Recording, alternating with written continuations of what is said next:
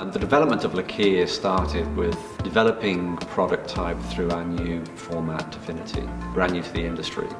Lakir we put out there at a trade show just to get some reaction on product. The design of the colour palette and in combination with the product created such strong reaction. We've had a back engineer and develop a collection around it.